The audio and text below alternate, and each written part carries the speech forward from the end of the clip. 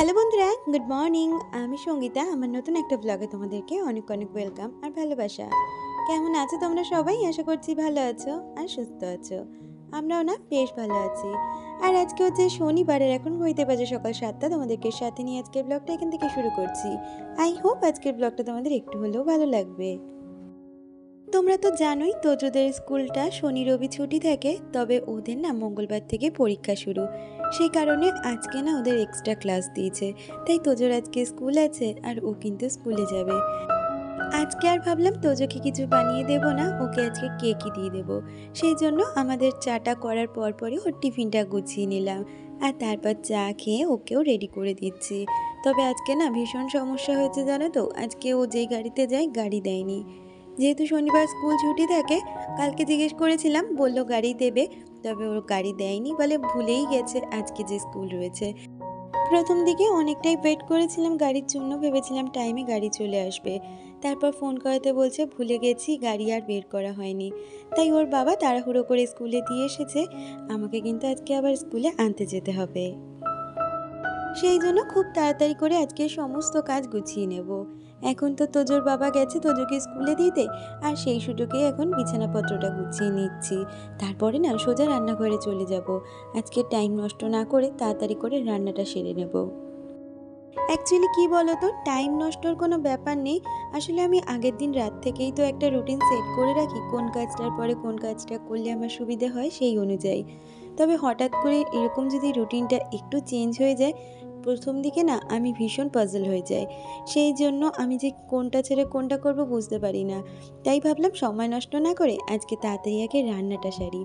তারপর বাকি কাজগুলো করা যাবে। আর এইদিকে তো বাজার চলেই এসেছে। আজকে তো শনিবার, সে কারণে নিরামিষই রান্না করব। পটলগুলো আজকে আর কিছু করব না, ওটা ফ্রিজে রেখে দেবো। আজকে করব ভেন্ডি পোস্ত আর তার সাথে সয়াবিন। আর হাজব্যান্ডও তারা দিচ্ছিল বেরোবে বলে, তাই ওর জন্য কটা ব্রেড সেকে দিয়েছি আর তার সাথে একটু চা বানিয়ে দিয়েছি। আর এখন তাড়াতাড়ি রান্নাটা বসিয়ে দেবো। আসলে কি জানো তো, আমার মনে হয় কি, সব কাজের আগে যদি রান্নাটা গুছিয়ে রাখা যায় তাহলে হয়তো কাজগুলো ধীরে সুস্থে করা যাবে। কারণ সবাই যে টাইমের মধ্যে আসবে, টাইমে তাদের খেতে দিতে পারব, এই বিষয়টা না খুব ভালো লাগে। আর যদি টাইমের একটু গন্ডগোল হয়ে যায়, আমার কিন্তু প্রচণ্ড নিজেরই অস্বস্তি লাগে। আর তোজোর জন্যই কিন্তু সয়াবিনটা করা। তোজো যেমন সয়াবিনটা খেতে পছন্দ করে, সাথে কিন্তু আমিও ভীষণ পছন্দ করি। সেই জন্য বলতে পারো, সয়াবিনটা আমাদের দুজনের জন্যই করা। আমার হাজব্যান্ডও খুব একটা যে পছন্দ করে বা অপছন্দ করে সেটা না, ওর চলে যায়। আসলে অন্যান্য দিনগুলোতে যাই রান্না হবে, তাই হয়তো সবাই খেয়ে নেবে। তবে নিরামিষ দিনগুলোতে না, দেখবে বাচ্চাদের পছন্দের রান্না না করলে বাচ্চাদের মুখে ভাতই ওঠে না। সেরকমই বলতে পারো আমার বাড়িতে। এই সোয়াবিনটা না করলে আজকে তো তো সারাদিনে ভাতই খেত না। সেই জন্যই কিন্তু সোয়াবিনটা করা। ও সোয়াবিন আর পনিরটা কিন্তু নিরামিষ দিনে একটু বেশ ভালোই খায়। আর তার না হলে ডাল, ডালের সাথে কোনো একটা ভাজা হলেই হয়ে যায়। আর এদিকে দেখো তোমাদের সাথে গল্প করতে করতে আমার কিন্তু রান্নাবান্না সমস্তটাই কমপ্লিট হয়ে গেছে। যেদিনকে না টিফিনের ঝামেলাটা একটু কমের ওপর থাকে, সেদিনকে রান্নাবান্নাটা বলতে পারো তাড়াতাড়ি হয়ে যায়। আর যেদিনকে টিফিনটা করতে হয়, রান্না করতে একটু সময়টা বেশি লাগে। আর এখন প্রতিদিনের মতন রান্নার পরে রান্নাঘরটাকেও সুন্দরভাবে পরিষ্কার করে নিচ্ছি। আমাদের মেয়েদের সংসারের কাজগুলো কিন্তু প্রায় একই থাকে। তবে এক একটা সংসারের কাজের ধরন এক এক রকমের হয়। তবে সেই প্রতিদিনের কাজগুলো আমরা যদি একটু বুদ্ধি খাটিয়ে নিয়ম মেনে করতে পারি, তাহলে কিন্তু এই সামান্য কাজগুলো কিন্তু আমাদের জীবনটাকে একটা অসাধারণ জায়গায় পৌঁছে দিতে পারে। আর কি বলো তো যাদের না একা সংসার, একা সংসারে সব কিছুই করতে হয়, তাদের কিন্তু সব কাজের মধ্যে একটু বুদ্ধিটাকেও খাটাতে হয়। কারণ সারা দিন যে হার্ডওয়ার্ক করেই আমাদের সংসারের কাজগুলো করতে হবে সেটা নয়। একটু কিন্তু বুদ্ধি খাটিয়ে স্মার্ট ওয়ার্ক করলেও আমরা সংসারের সমস্ত কাজ সুন্দরভাবে সময়ের মধ্যে গুছিয়ে করে উঠতে পারি। আমাকে এর আগেও একজন জিজ্ঞেস করেছিলে, দিদি, তোমার বাড়িতে কাজের লোক নেই?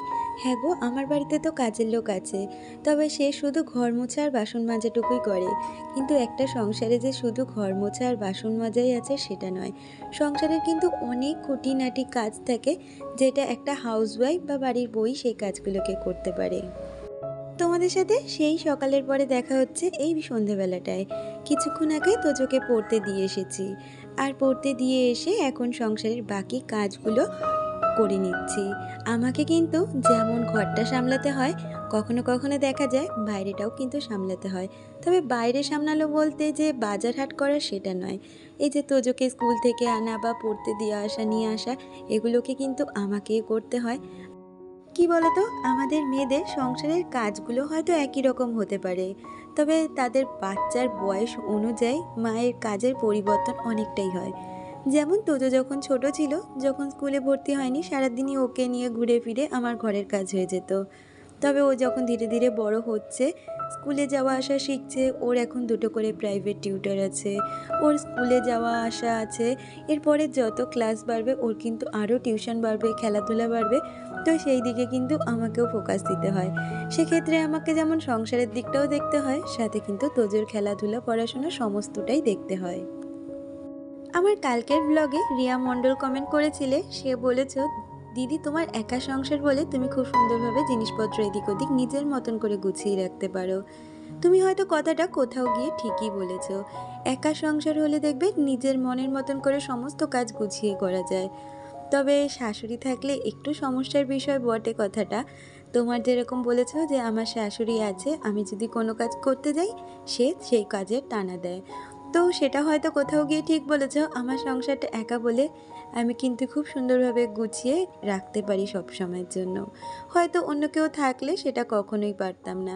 তবে আমার শাশুড়ি মা কিন্তু কখনোই এরকম ধরনের ছিল না। উনি কিন্তু আমি বিয়ে করে আসার পরেই পুরো সংসারের ভার বলতে পারো আমার ওপরেই দিয়েছিল।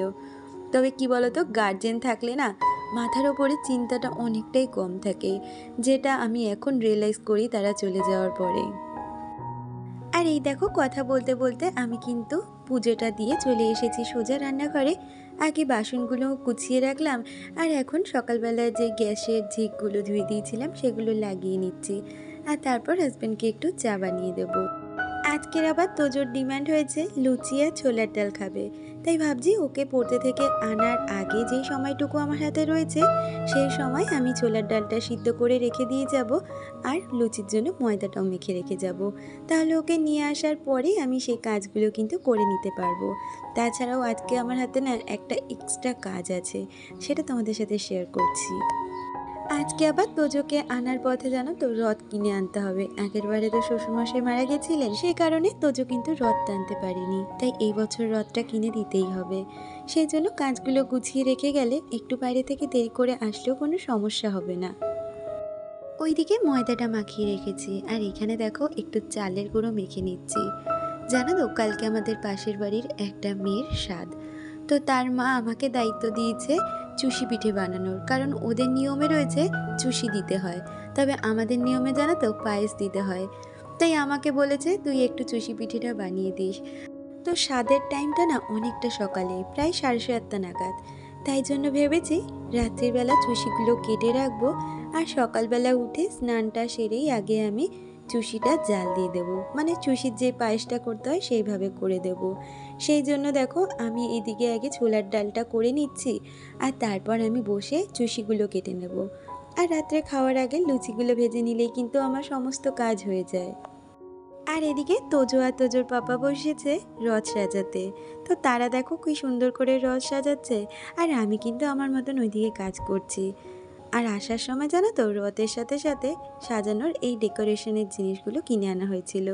তো এই ফুলগুলো না আমার ভীষণ পছন্দ হয়েছে, কারণ এরপরে জন্মাষ্টমী আসছে, লক্ষ্মী পুজো আসছে, পিছনের বলটা খুব সুন্দর ডেকোরেশন করা যাবে। আর এই দেখো, রথ সাজানো হয়ে গেছে। কেমন লাগছে অবশ্যই তোমরা জানিও। আর তোজো তো রথ চালাতে এখনই শুরু করে দিয়েছে।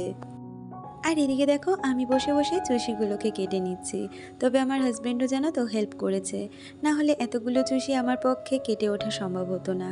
তারপরে আবার লুচি বানানো রয়েছে। তাই এই বানাতে বানাতে জানো তো প্রায় সাড়ে দশটা বেজে গেছে। আর তোজো ভীষণ কান্নাকাটি করছিল, খিদে পেয়েছে বলে। তাই তাড়াতাড়ি করে লুচিগুলো বেলে ভেজে নিচ্ছি। আগে কটা লুচি ভেজে তোজোকে খেতে দিয়ে এসছি, আর এখন হাজব্যান্ডকে দিয়ে দিচ্ছি।